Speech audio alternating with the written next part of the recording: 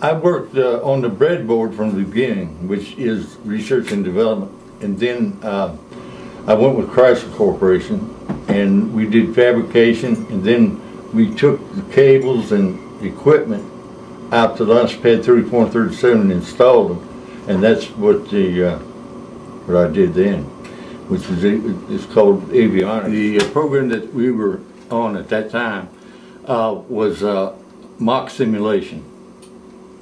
And we went through uh, about a third of the launch procedure. And when we removed external power and turned it into internal power, the um, um, spacecraft was pressurized with oxygen. And whenever it sparked, there was a spark underneath the commander's seat where the wire harness had broke and it just went up like, like so many hundred degrees. They uh, lasted uh, from 19 to 23 seconds. And the whole time you could hear them. Trying to get out.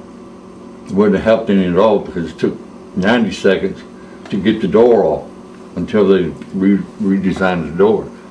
But um,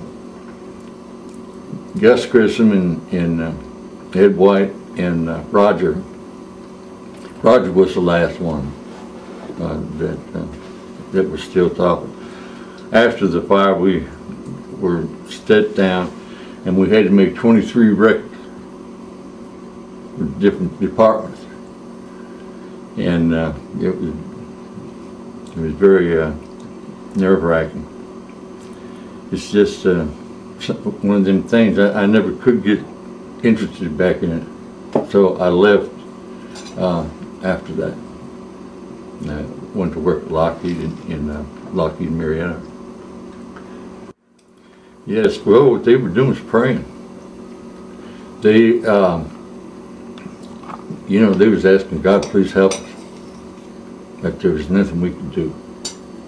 I mean, physically we couldn't, we couldn't do anything. Because when you have that much oxygen at uh, 19 psig, it's just, well, if you ever seen anybody light a torch, when they put the spark onto the oxygen, it's bam, that's it.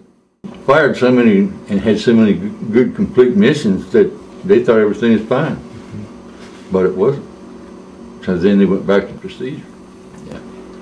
it was very, uh, I mean, they gave us a couple weeks off, one thing and another, but it was very heartbreaking. You go out there, that's all you could hear. After you hear that record 23 different times, it just didn't go away. So this day, on the 27th day of January, every year, I just kind of, you know, feel it. But uh, it, it, was a space race, that's what they called it, space race, but it was, um, it, it was frantic. There's many days that we would work from six in the morning till six at night, seven days a week. I mean, we were always working.